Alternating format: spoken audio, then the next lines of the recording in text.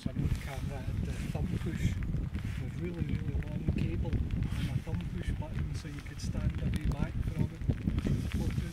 Yeah, I've done that too.